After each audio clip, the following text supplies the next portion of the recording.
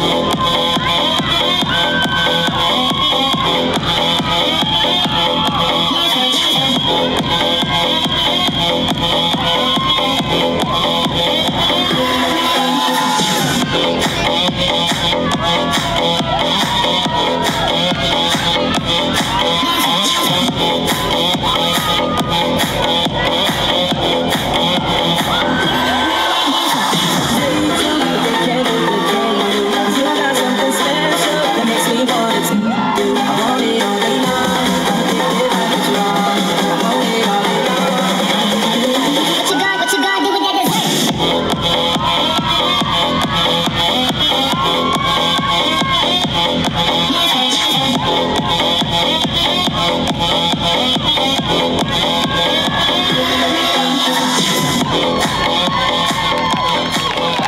Piotr Wojciechowski, dziękuję pięknie.